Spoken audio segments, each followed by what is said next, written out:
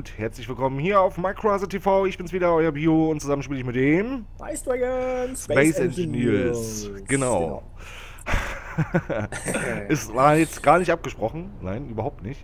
War es wirklich nicht, hat aber funktioniert. mehr oder weniger. Um, ähm, in der letzten ja. Folge haben wir euch so ein bisschen was gezeigt, so der, was der Ice Dragon hier so alles in der Station getrieben hat. Und ja, ich war ja aktiv. Er war ja nun mächtig fleißig gewesen. Hier haben wir ja nur noch zum Schluss gezeigt, unser Undock-System hier, was wir haben, damit alles aus unserem ja, Container in unsere Station automatisch wandert. Nicht, dass wir das jetzt hier immer alles jetzt per Hand schleppen müssen. Das ist ja nun schon Steinzeit. Mhm. Das haben wir jetzt allerdings nicht mehr. So, als lieber Ice Dragon, dann sag uns mal, was müssen wir jetzt machen? Äh, ja, super. Was müssen wir machen? Ich muss jetzt erstmal dafür sorgen, dass das auch wirklich ähm, übertragen wird. Meteor Storm. Naja, gut. Ich muss gucken, dass es auch wirklich übertragen wird jetzt erstmal. So, er hat wahnsinnig viel in den Verbinder schon reingeknallt. Okay. Muss ich den anderen Verbinder wahrscheinlich auch noch auf Dienst stellen, auf Einsammeln? Verbinder, Verbinder. Aha. So, welcher Verbinder ist jetzt der andere? Der da. Alles einsammeln. So, Block ist eingeschaltet, Förderbandsystem. Okay, so, muss nämlich gucken, dass der das auch alles sammelt hier, wie er soll. Ja, wenn ihr auf jeden Fall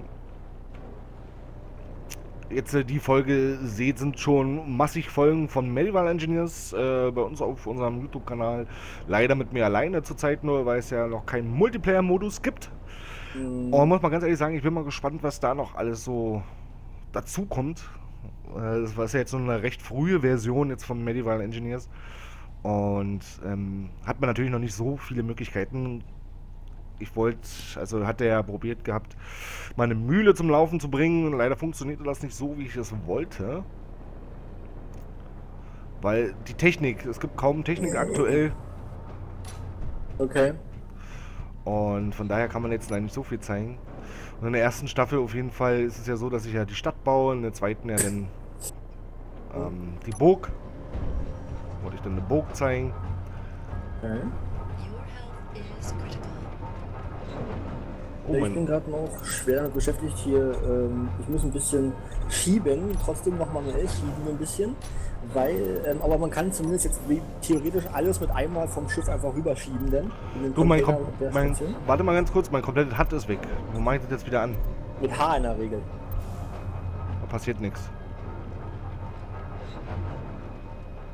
Also mit H kann ich es ein- und ausschalten. Achso, ich habe es umgelegt, die Taste.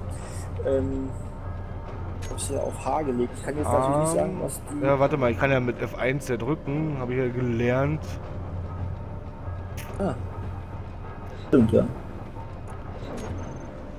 Ja, man lernt so ein bisschen, wenn man die gleichen Spieler eigentlich, also... Mm. Na, Tab ist es. Aber dieses Tab, ich, ich hab's, äh, Tab auf Tab habe ich Inventar auf Tab. Deswegen. Das habe ich darauf gelegt, weil ich es von, ich sag jetzt einfach, äh, Skyrim so kenne, da ist das Inventar auf Tab.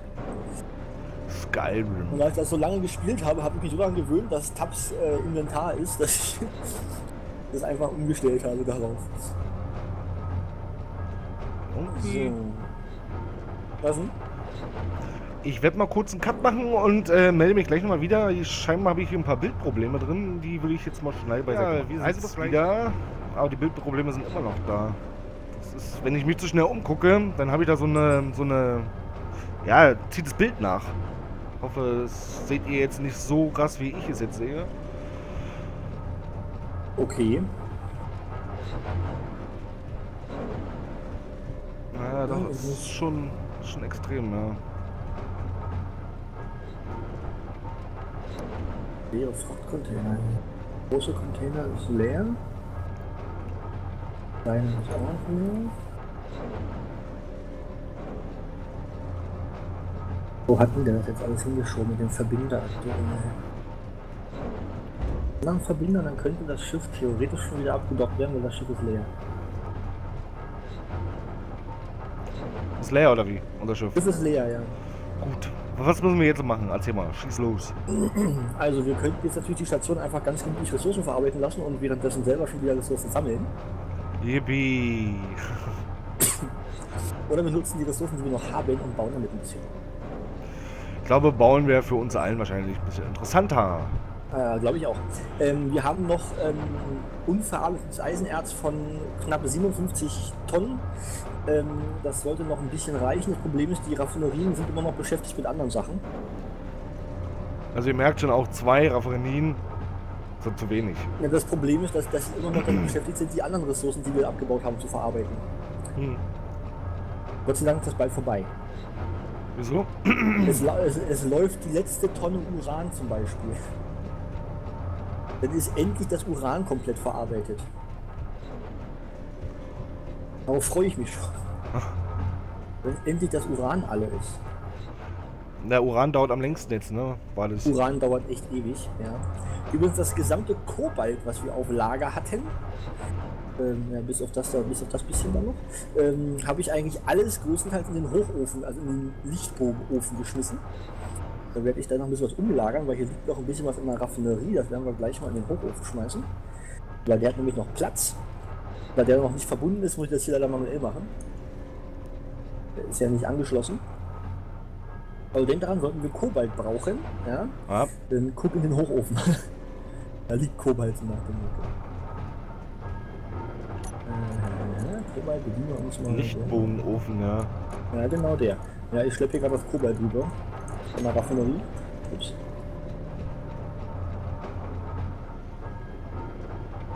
Die eine Raffinerie hat nämlich Kobalt drin und das muss nicht sein. Ich hätte mich lieber, dass sie aktuell Eisen verarbeitet eigentlich. Ich jetzt auch mal initiieren, indem ich ihr ein bisschen Eisen verpasse. Ja, hier wir haben wir auch Platin zu verarbeiten, verarbeiten wir Eisen. So. Eis auf Platin. Genau. Der So, braucht das hat erstmal 13 Tonnen äh, Eisenerz drin. Oh, ein paar Stahlplatten sind schon da, also wenn du willst, kannst du dich auch schon bedienen. Ähm, Was heißt ein paar? Also wegen 100 brauche ich mich jetzt an die Rand stellen. Ja, ja, so ein diese bisschen. 100. Ähm, also du könntest, wir könnten gucken, dass wir vielleicht das äh, letzte Stück des Förderbandsystems fertig bauen. Damit die Kanone am Förderbandsystem angeschlossen ist. Sag Brauchen wir mir, was du brauchst, ich baus. Achso, sollte vielleicht. So, wir brauchen Stahlplatten, haben wir. Herstellungskomponente brauchen wir. Wie viele, wie viele Komponenten sind das? Eins, zwei, drei, Fünf. vier und eine, und eine Ecke. Ja, die So. Ecke braucht aber andere Sachen. Ähm, Was siehst denn du? Also- Achso. ja, ich weiß es. ähm, so, also, was brauchen wir? Also Panzerglas, Motor, Stahlrohr, Moment, klein. Moment, Moment, Wie, wie viel? Also Panzerglas, warte mal, da haben wir hier vier, Vier vier, vier und vier. Die Ecke braucht auch vier, ja? Also brauchen wir äh, 20. 20. In Auftrag gegeben, okay. Dann brauchen wir Motor. Hier brauchen wir 8. Wie viel Wort brauchen wir eine Ecke? Auch 8. Also 8 mal 5. 40. Genau. Haben wir. Li- li- Liegt auf Lager sogar. Gut, dann Stahlrohr brauchen wir 12 hier. Groß oder klein? Klein. 12, ja? Und auch 12. Also äh, 5 mal 12. 60. Da brauchen wir noch 20. Okay. Und jetzt geht's los. Herstellungskomponente brauchen wir hier 40. Und hier brauchen wir auch 40. Also brauchen wir 40 mal 5. 200 also. Und Stahlplatten sollten Das wir Problem eigentlich. ist, die Dinger brauchen auch so lange, das ist das Problem, ist das Herstellungskomponenten. Ja, aber habe ich einen Auftrag gegeben, okay. Das war schon. Und Stahlplatten brauchen wir wie viel pro, Äh, pro Stück? Hab ich drinne. Hast du Achso, genug, ja? ja, ja. Alles klar. Hab ich Gut. genug da. Dann kannst du dir alles bis auf die Herstellungskomponenten schon rausholen. Aus Also. dem Inventar ist alles schon da. Okay, dann machen wir Platzing. Ja, ich bin schon weg. So, also wir brauchen Herstellungskomponente, genau. Also zugreifen auf den Lager kannst du am Assembler oben an den, an den Containern und auch am Reaktor. Da kommst, kommst du auch an das komplette Inventar ran, weil es ja verbunden ist. Stahlrohr klein, was hatte ich gesagt? Interne Panzerung braucht man nicht. Nee. Aber wie gesagt, du kannst auch ähm, jetzt über den Reaktor zum Beispiel auf das gesamte Inventar der Station zugreifen, weil es halt verbunden ist miteinander.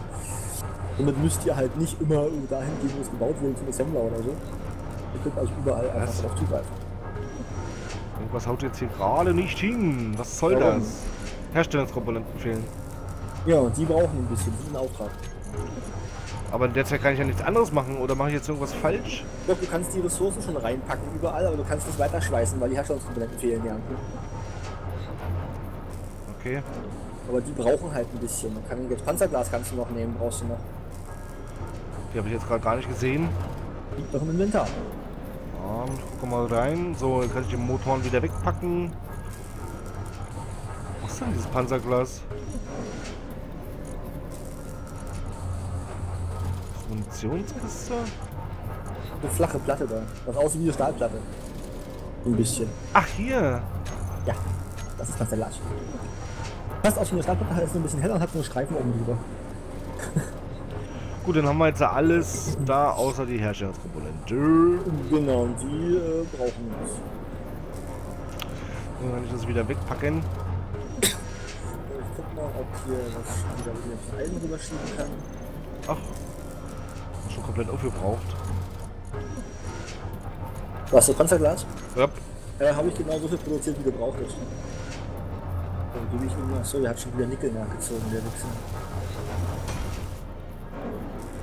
Ja, leider tun die Raffinerie sich halt oftmals, also das heißt oftmals, eigentlich ist gut, tun die halt automatisch immer die Ressourcen rausziehen, die sie brauchen. Mhm. Wenn, wenn die zu wenig im Inventar haben, machen ziehen sie sich das nächste raus. Ähm, man muss ein bisschen gucken, dass man versucht, die äh, Raffinerie so einzustellen oder das so zu machen, dass sie sich das rausholt als nächstes aus dem Container, was man auch als nächstes verarbeitet haben möchte. Das könnt ihr damit äh, erreichen, jedenfalls meistens funktioniert Ich weiß nicht, ob es immer geht, aber meistens funktioniert Dass ihr das, was ihr zuerst verarbeitet haben möchtet, müsst, muss auch vorne im Container sein, also auf dem ersten Feld. Das könnt ihr im Container frei sortieren, wie ihr das haben wollt. Und dann tut die statt äh, die Raffinerie in der Regel das in der Reihenfolge rausnehmen, wie es auch im Container drin ist. Verstanden? Ja, alles. Wirkt jetzt nicht so. War jetzt ein bisschen abgelenkt, ganz ehrlich. Aber du hast es ja auch für unsere Zuschauer erzählt und nicht für mich jetzt. Ja, für dich aber auch. Ich weiß nicht, ob du es jetzt auch noch nicht weißt. Ich weiß alles. Achso, du bist Ja. allwissend. Verstehe. Mann, das gibt's doch gar nicht. Wie lange braucht das? Was, die Herstellungskomponenten? Na, Und die brauchen, es fehlen immerhin noch 136 Stück. 136. Na, eins ist ja hier schon fertig. Oder sechs sind drin im Inventar. Sechs Herstellungskomponenten sind wieder da. Sieben, acht, neun. So schnell geht das Wahnsinn, ne? Ja. Also Motoren haben wir noch auf Lager, interne Panzerung und fünf Kisten Munition. Die bringe ich mal wieder rüber in die Kanone nochmal. Das geht noch nicht automatisch. Muss ich jetzt auftragen? Da. Ja. So, das läuft noch nicht. Sobald der, dieses Förderbandssystem zur Kanone fertig ist, sollten die Kisten eigentlich automatisch rüberrutschen zur Kanone. Mhm. Sollte. Also ich habe es noch nie gemacht, so weit. Ich, hab noch, ich war noch nie so weit, dass ich eine Kanone am Vorderbandsystem angeschlossen hatte. Ist der Nachteil jetzt an einem Let's Play, wa? Jetzt. Oder nicht Nachteil, aber jetzt zockt man es mal wirklich dann mal auch äh, regelmäßig. ein bisschen länger, genau. Ich muss meine Gesundheit heilen. Ich bin vorhin irgendwie ein bisschen zu, zu früh abgeschaltet äh, mit dem Jetpack und bin ein bisschen gestürzt. Meine ist ja nicht unbedingt ein Nachteil, ist ja eher positiv, weil meistens ist es ja so, wir, wir kennen es ja nun mal alle, da spielt man hier, gerade hier so, so, so Space Engineers, ja, zockt man in so ein paar Stunden, ja, dann verliert man irgendwie Lust dran. Irgendwann man es schon, ja, genau. Und wenn man den halt dann sowieso alleine spielt, dann ist es sowieso nochmal ganz anders. Richtig. So, alle leeren ausblenden. Hat die Raffinerie sich wieder Dings geholt? Nein, hat sie nicht. Hat sich kein Eisen nachgeholt. Dann packe ich jetzt wieder selber Eisen rein. Ich versuche immer so ein bisschen das hier selber zu kontrollieren. Und warum machst du, weißt du, wir machen jetzt hier Panzerglas und hast du nicht gesehen hier, ja, für unsere. Warum machst du denn nicht mal Glas bei uns im Raumschiff drin? Ähm, das kann einfach jetzt, zum Beispiel grad jetzt in dem Moment daran liegen, dass die, der Assembler gerade beschäftigt ist mit Herstellungskomponenten. Ja, ja. Wir haben nur einen Assembler, Immer die aus. Warum bauen wir nicht einen zweiten? weil das Ding einen Haufen Ressourcen braucht. Ich Ja, kann gerne mal gucken, was es braucht. Ich kann es gerne mal mitgucken, damit die Leute das auch mal sehen. Ja, warte, ich will hier nur noch schnell. Obwohl, es geht eigentlich, was man braucht. Außerdem weiß ich gar nicht, wo man hinstellen soll. Na, stell mal hier neben hier, oder? Wie, wie groß ist denn der? Das, das, das Teil jetzt hier unten, ne? Das hier. Genau, Zwei Etagen. Er ist relativ klein, aber ich will ja eine Verbindung zum Förderbandsystem wieder haben, weißt du? Aber wenn du, sie, wenn du den hier hinstellst, dann ist er automatisch wieder verbunden, oder? Ja, warte mal, ich muss mal gucken. Ja, kommt drauf an, welche Seite die, die Verbindungsöffnungen sind. Ich weiß jetzt nicht, wo der die Öffnungen hat. Ob er die oben oder unten hat. Dann.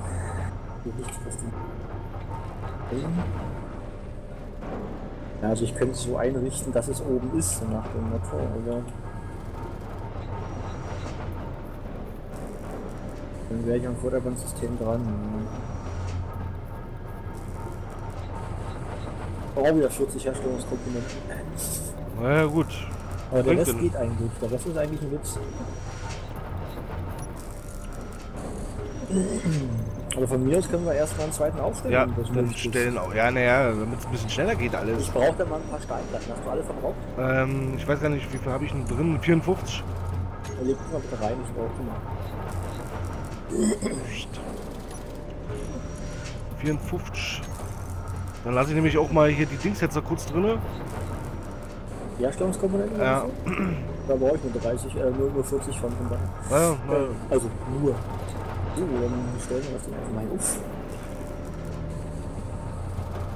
An die aber warte mal, warte mal, warte mal, warte mal, warte mal, warte mal, warte mal. Die Folge ist schon wieder zu Ende.